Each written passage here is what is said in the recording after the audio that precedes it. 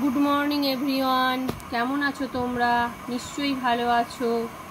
আজ আমি তোমাদের, আমি বাংলা লিখি বইটির পনেরো পাতা উয়া লেখাবো। প্রত্যেকে মায়ের কাছে বসে লিখবে। আমি যেভাবে লিখছি, সেইভাবে দেখে দেখে লিখবে। উঁয় কি আছে? ব্যাং উঁ কীভাবে লিখতে হয়, দেখো।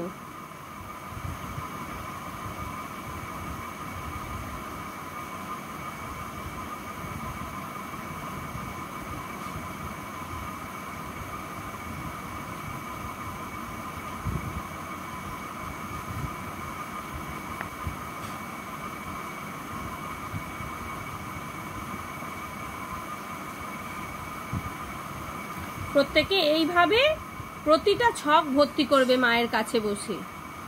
আর প্রত্যেকে মায়ের কথা শুনবে।